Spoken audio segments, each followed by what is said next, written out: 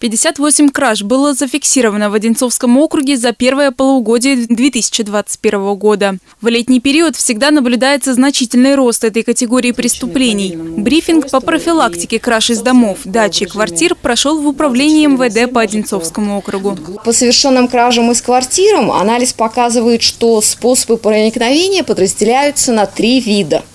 Это подбор ключей, взломы замков входной двери и отжим стеклопакета.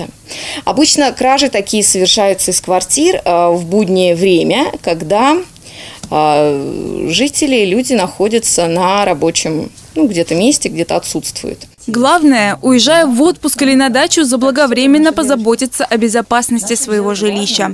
Сегодня для этого есть много способов. Заключение действительно договора с, э, да, с отделениями да, вневедомственной охраны, э, полиции о том, чтобы просто действительно, когда ты уезжаешь, ставить э, свою да, там, квартиру, дом на сигнализацию, и это является, ну, безусловно, гарантией того, что все-таки можно достаточно быстро а, да, там, отреагировать полиции на проникновение. Член общественного совета при МВД Мария Шматкова отметила, есть и другой, не менее эффективный способ сохранить имущество. Это управление домом через смартфон. Камеры подключены к мобильному устройству, и собственник в режиме 24 на 7 может э, быть абсолютно спокойным за свое жилище и за сохранность э, своего имущества.